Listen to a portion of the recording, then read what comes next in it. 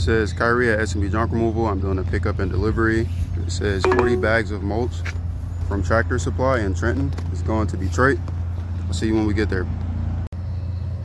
Okay, so I'm here in Detroit now. It's going over there in that spot. And I'll try to see if I can get some footage of me dropping them off before uh, I leave.